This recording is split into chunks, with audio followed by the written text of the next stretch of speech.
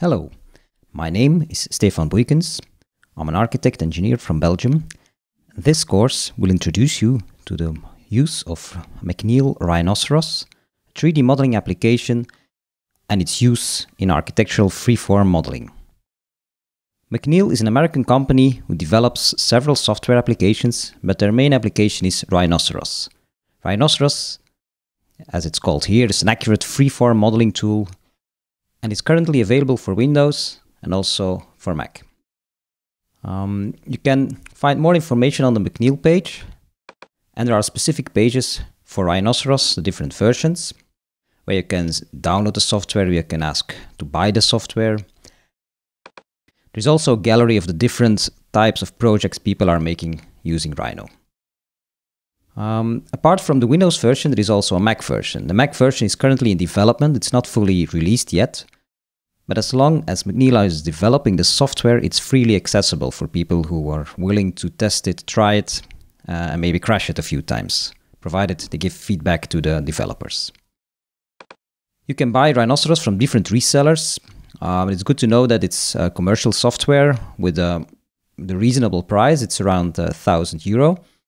Um, there are different extensions for rendering or animation, but they also have special um, special pricing if you have a bundle of different applications combined.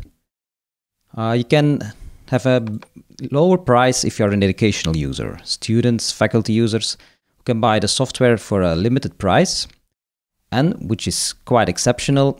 Uh, it is also allowed to use the software, uh, which is identical to the commercial version, also for commercial work. So while you're a student, while you're learning, it's very interesting to buy the software and continue to use it without um, disobeying the license agreement. Um, Rhinoceros is, has a wide community of users uh, and is also a, a, system that is extensible with different uh, plugins and add-ons. For instance, Grasshopper is very popular for parametric design. What, many of these extensions have several communities, several groups of users.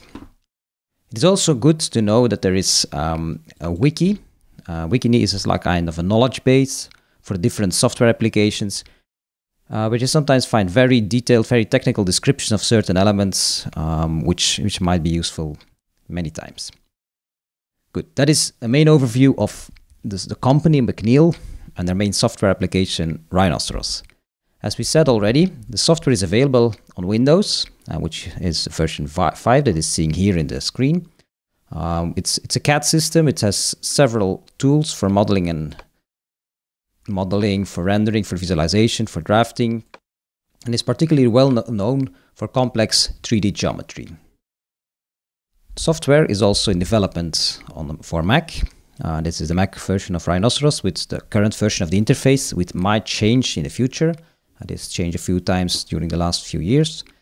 Uh, but the basic concept is the same. The 3D models you create are compatible between the software versions.